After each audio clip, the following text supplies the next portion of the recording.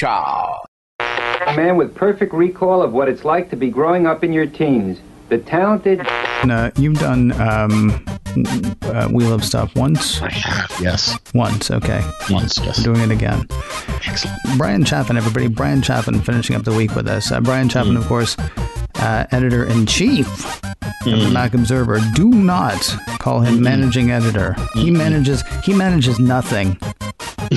It's, it's, it's so true. Um, that's uh, sorry about that. Hey, uh, it, it is a game that has uh, swept the small parts of the nation that listen to this show every Friday.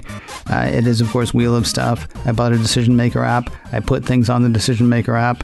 I then uh, spin the wheel and uh, throw it out to you as a as a as a question, as a topic, as a thing that you might uh, that you Did might remove address. the things that you didn't want because there was like the like the last time I did this, you were like, oh, I, I was going to remove that and I didn't, and then that's what I got. I believe I did. I believe I did. There are four things that I have blanked out here because they are similar, I believe, to questions that you had answered before. Oh, no, Mm. meant to take that one out too. So hold on a 2nd Mm-hmm. Oh, no, quit, quit making noise. Hold on, hold on, hold on. Want to get rid of that? Mm-hmm. It won't. If it comes up, I'll just go ahead and do the next one. Anyway, yes, I believe I have. Uh, sir, are you ready to uh, to spin the wheel of stuff? So I'm so ready to spin, Ken. Let's go.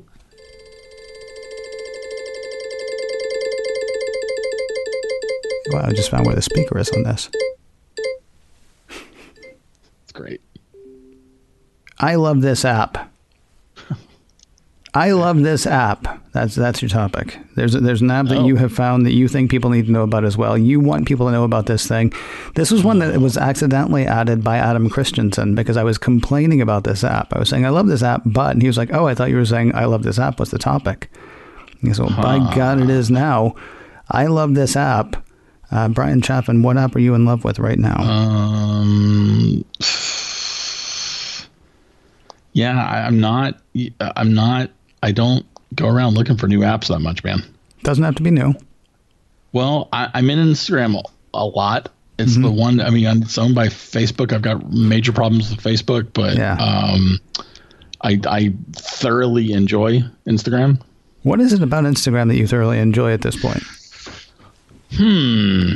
I like getting that pictorial view into people's lives. Now, what pictures can tell you? I mean, yeah, admittedly, there is like this whole major section of Instagram that is people posting nothing but selfies, and that's not what I like Instagram for. I like Instagram in, in, in part for people who are showing me something interesting, but also showing me how they see the world. Hmm. Um, like uh, I, I've I've seen all kinds of great uh, sealing wax, uh, as in letter sealing wax. Yeah. Um, uh, videos I, I I love those. Uh, some calligraphy videos that I love. There's a guy uh, Dexter Rings uh, is a is a engraver out of England who does signet rings and um, you know family crest rings stuff. Amazing, amazing work. And he'll he'll show the ring, but then he'll also show a wax impression that the that the ring uh, makes, and it's just you know these. Um, amazing, just really high quality work.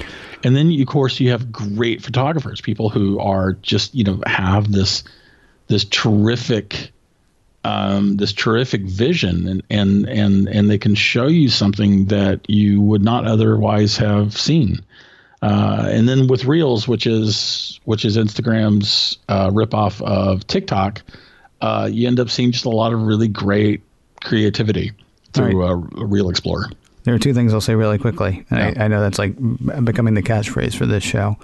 Um, uh, Facebook's sort of uh, grubby hands all over Instagram has made it less and less attractive to me every time I go. I get that. It's now Instagram now is a thing that I do about once a week because it used to be a thing that I checked constantly because it was a good way to keep up with what your friends were doing and stuff like that. Uh, somehow I'm missing pictures, it seems. And also, I'm getting pushed a lot of sponsored stuff and also add to your story. Like, well, no, I don't want to. You know, and it makes, sort of makes you. The question Yeah, I was going to ask though was: Have you have you actually have you started uh, frequenting TikTok at all? And before you say anything, the reason I ask, I don't, but my special lady friend is like, I mean, she'll find like all kinds of random like craft stuff. Like she was showing me a video of the whole section of TikTok uh, that makes its own thread. I don't mean threads. I mean thread. You know, and and she's like all excited about that all of a sudden. Um, is that the kind of thing that you've gone to TikTok for, look for on TikTok, or do you just not need another thing and and you're happy with Instagram? I've never downloaded TikTok. I don't have a TikTok account. Oh. Um, the TikTok material that I end up seeing is usually stuff that's being posted to Instagram Reels. Ah, there you So go. like it- it's created on TikTok and then and then posted over on Reels. Okay, fair enough. Um, yeah, I so when uh, the former president of the United States said that's it, you know, TikTok's you know out of the app stores, all of them, like this weekend. Uh, I went ahead and downloaded it really quickly, and I spent 45 minutes watching TikTok and thought, I need to never go here again because I spent 45 minutes watching TikTok, and and it just seemed like a way I could you know spend the rest of my life. are you ready to Are you ready to spin again, sir? Yeah, spin. Ooh, wow. How do you spend the last time it takes? What was the last concert you went to? What was the last concert I went to? Would be um, this was from the before times, right? Well, I hope so. yeah, right.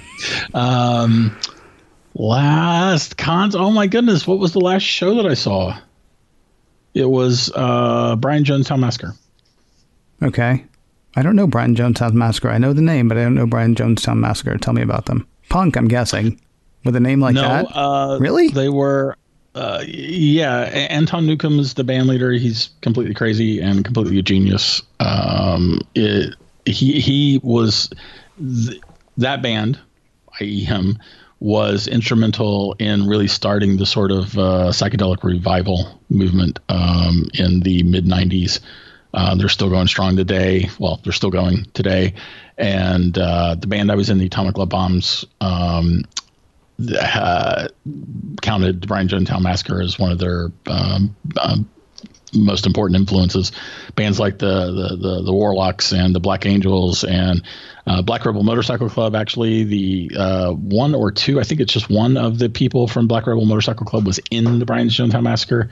So a lot of that uh, music, if any of those bands mean anything to you whatsoever, uh, a lot of that all came about starting with the Brian Jonestown Massacre. Uh, you said mid 90s was when they started? Yeah, Where does a band like that find a place today, or where did they find a place then? Because I'm assuming that was not something you were going to turn on the radio and hear. San Francisco. Open your golden gates. What are you saying, though? I mean, that's where they, I mean, like, is there a scene? Is there a, I mean, is it an online thing? I mean, where, where are you seeing that happen? Um, well, I mean, you know, it is 2021 now, so it, it has been a while. One of my one of my absolutely favorite bands uh, coming out of San Francisco right now is the Spirals, and they're just right smack dab in the middle of that space. The Black Angels are from a, a, one, another one of my just massively favorite bands. They're actually from Austin. Um, the you know, I mean, it, it is it is um, live music in any given city is never quite what you might think if you're not there, right? I mean, San Francisco has lots of places to play, but it doesn't mean that that you know it's particularly easy for bands to play them. And of course, you know, clubs struggle in San Francisco in particular because of, of rents. Uh, but that's probably true for most places, um, uh, most markets. So I, I don't really know how to answer that question. San Francisco's the worst, though. I mean, it's not the worst, worst. I, I wasn't i- in New York, well, ever. I mean, I've been to New York, but I mean, I didn't live in New York. But San Francisco, there was a fantastic bar down on Market called Lucky 13. It was always difficult to get into, and yet they closed because, you know, they couldn't afford the rent anymore. Yeah, Yeah. that, so, that's a that's a real that's a real issue. do you know uh, uh, Roberto Baldwin? No, Okay. should I? Good then. No, I don't know. I'm sorry. He he writes for I, I can't remember who he writes for now. He mostly does cars, but he also does tech, and he plays in a bunch of bands around San Francisco as well. Um, I hope I got his last name right. If I didn't, maybe you do know him, and I'm just uh, messing it up. You ready to spin the wheel one last time, sir? Yep. Yes, I am. right after the uh, right after the before times ended, or right after the after times started.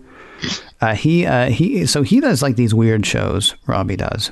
I call him Robbie. I don't even know him well enough to call him Robbie, but it turns out a friend of mine who I had for years was in a band with him for years, and she's like, "You know Robbie?" I was like, "No, I don't." But you know, we have this association online, whatever.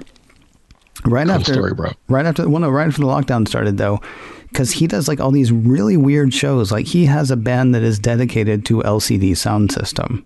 Like they, they do LCD Soundsystem cover bands.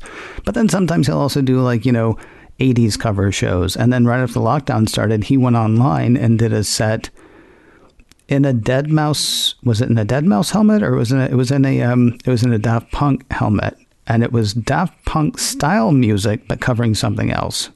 I think you'd like him. I think you should like uh, seek him out. Sounds interesting. And if I can never remember his real name, uh, I, I will let you know uh, what that is.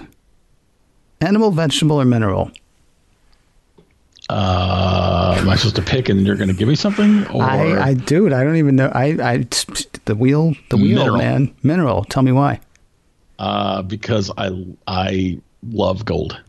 Okay. Like, like a Goldmember gold, or like, what do you mean? I, I have in front of me here, actually, sitting on my desk. I've got a uh, what is this? This is a 1907 uh, five dollar gold piece, MS63, uh, meaning that it is essentially uncirculated. I think actually it is uncirculated. I, ju- I love gold. So if you're going to ask me, animal, vegetable, mineral, mineral, gold. Well, that is how the game is played. See, I, I like that question because it's so weird. It also tends to be one of the shortest answers that I ever get. But uh, Can, can I answer it one other way? well, if you want to, sure. Do you want me to ask it again? No. Okay. Mineral, because when I was in the fourth grade, I had a T-shirt that said "Numismatists have a lot of sense." C E N T S. Wow. Yeah, Yeah. really made me a lot of friends amongst my peers. I would I would imagine it did. Yeah. I, I do love though how uh, we have brought the whole thing back to uh, to currency. Yeah, uh, fair enough. There That's- are definitely like comparisons to be made between gold and Bitcoin. So uh, coming up next, uh, Bryan Chaffin. What's news to him? It's crypto. We're back in two and two.